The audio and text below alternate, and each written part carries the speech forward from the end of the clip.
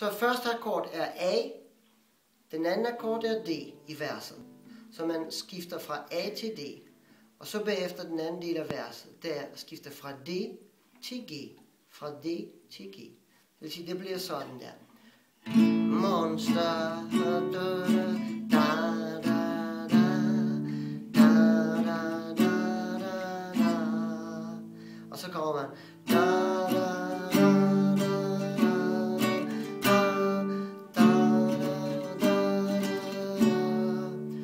Har vi en omkvæd, ikke også? I omkvæd spiller vi noget meget let. Vi siger, prøv at kigge her.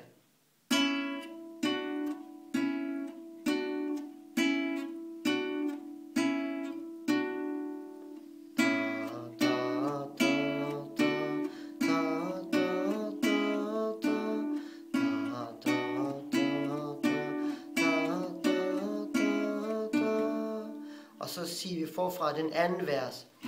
Da, da, da, da, da, da, da, da, da, da, da, ikke også?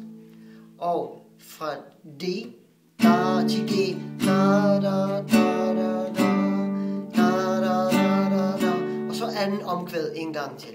Da, da, da, da,